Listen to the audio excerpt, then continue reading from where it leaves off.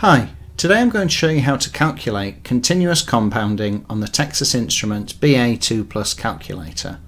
I'll show you three different ways how to complete this calculation. The first and purest way from a mathematical point of view is by using the number E button. The other two ways are by using the iconv or time value of money functions on this calculator. These are technically an approximation but they'll give you an answer close enough for most applications. The most appropriate option of the three will depend on which of the variables that you need to find. Time value of money is most likely the best option for finding a future value. I think the iconv is best for finding the continuous compounding rate from a simple rate or the simple rate from a continuous compounding rate. So let's kick off with the number e first. We'll use a simple example to help us.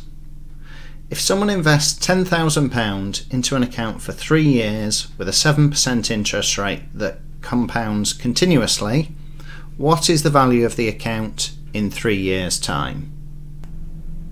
The number E button will convert the 7% simple interest rate to the real continuously compounding rate. So we press 0.07 then press the second and um, e to the power of x which is the ln key.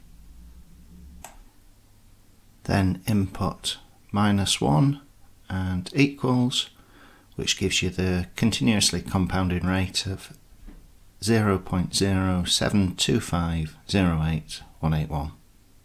So back to the question, once we have the continuously compounding rate, press plus, then input 1, then y to the power of x, input 3, then multiply that by 10,000 and equals and the calculator should give you um, 12,336 and 78 pence which is the value of the account in three years time with continuous compounding. So next the iconv function can also convert the 7% simple interest rate to the real continuously compounding rate.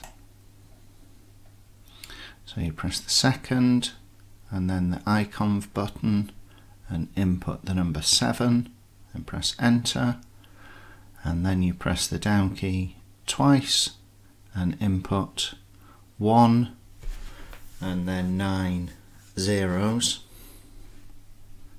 and then press enter. By inputting a very large value for the number of compounds per year, it gives you an approximation of infinity, which results in continuous compounding and press the down arrow twice and come this will give you the annual continuously compounding rate under EFF of 7.250818125. So then we divide by 100 then plus 1 and equals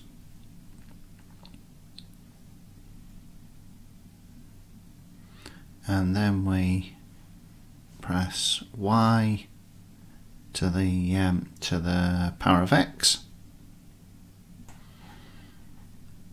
and enter 3 multiplied by 10,000 and equals again the calculator should display 12,336 and 78 pence the final way of answering the question is with the time value of money function on the calculator. So press second, clear time value of money. That gets rid of any previous calculations. And then you want to press uh, second and IY.